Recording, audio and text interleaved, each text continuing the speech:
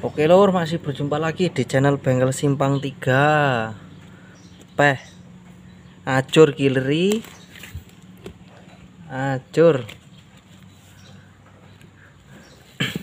Lah Di depan ini udah ada magnet motor metik untuk setat halus ya. Nah ini keadaannya wancur nih ya, nah seperti ini ya ini nggak tahu mau gimana nih ya. Untuk teman-teman mau dibenerin atau mau diganti baru? Bingung juga. Kalau mau diganti baru pastinya mahal ya untuk magnet ya. Pastinya mahal. Ya mahal itu kemungkinan ya 300an ya lebih kalau ya. Karena saya belum tanya di toko Uh, tetap tetapi di sini saya akan ngakalin ngakalin masalah platnya ini yang rusak. Ini kan platnya itu udah hancur ya, Lur. Kenapa kok bisa hancur platnya gini? Itu kesalahan yang punya motor sendiri. Kemarin uh, dibongkar sendiri ya, dibongkar sendiri tetapi dia waktu membuka magnetnya ini tanpa pakai striker ya. Tanpa pakai striker tapi dicungkil-cungkil ya ditutuk-tutuk. Nah ini dipukul-pukul ini sampai penyok kabeh. Jadi sampai ngenai bagian magnetnya bagian ini loh. Apa ini lek ngarani? Plate ya. Ini sampai hancur ini loh nah ini hancur Nah ini kan agak gosong ini ya. Nah ini gosong kayak kebakar. Ini bukan karena kena las atau gimana itu bukan. Ini karena konslet. Jadi gesekan terus. Uh, plat magnet ini sama sepul itu gesekan terus. Ini sampai kayak kebakar ini. Ya. Aduh. Wes jenengan ponakane bandi lek bongkar mesin ya sini kilur nah ini rencana tak buang untuk platnya ini tak buang. Terus magnetnya itu nanti tak lim steel ya tak lim steel supaya ada ikatan nggak lepas untuk magnetnya ya. Kalau bisa ya. Kalau nggak bisa ya terpaksa kita ganti baru. Ini cuman ngakali pertama kali saya ngakali kayak gini ya. Kalau motor grand terus apa itu? King aman. Kalau untuk motor metik ini belum pernah ini ngelepas uh, ini kan dia sistem anu ya apa lek ngaran iki? Uh, bukan baut ya dan bukan dilas apa lek ngarani pres-presan ya. Uh, plat platnya dan magnet uh, magnetnya ini di press ini tak bur cara buka eh ini tak bur ya ini tak bur tak bur tak bur semua muter. Ini sudah pas tinggal tak jabut sih kena pola oke makanya ya untuk teman-teman ya hati-hati ya. Kalau mau bongkar-bongkar sendiri ki harus pakai perhitungan ya lur. Jadi nggak sampai magnetnya sendiri atau barang motornya sendiri tuh hancur kayak gini. Jadi ada perhitungan. Nggak basing-basing ya pengen belajar pengen belajar boleh pengen belajar bengkel sendiri. Tapi itu ya harus dihitung-hitung enek perhitungannya lur. Nggak asal buka wae. Lah ini wis hancur ini ke piye? Lagi malah manete lepas kabeh anjir aduh tuh tenan iki angel iki. Iki sopora iwalah leme lepas kabeh iki lho risan asli kan nempel lagi ya Allah Gusti. Bayu lepas kabeh lur aduh.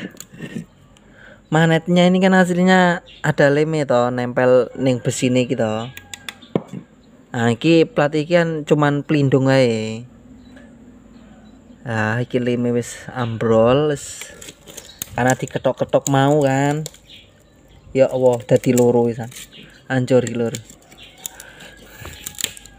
iki tak paksa tak buka pasti hancur kabeh. Aduh aduh. Sik lan alon alon alon alon alon alon ya Allah Gusti. Es nggak iso kita kali. Ganti lur ganti Astagfirullahaladzim nah.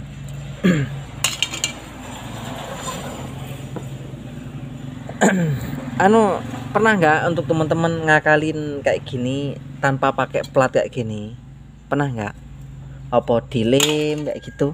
Pernah nggak lor kalau saya untuk matic ini belum pernah. Cuman kalau untuk motor grand motor king itu saya pernah oh motor king lepas ininya aja tak akalin tak las. Magnetnya lepas itu ya tak lem. Tapi kan motor ini anu tau ya apa uh, untuk penggerak starternya itu kan di bagian sini. Apa ya kalau kita buang untuk platnya terus magnetnya acur mumur kayak gini apa ya masih bisa ya? Aduh bingung ya aku.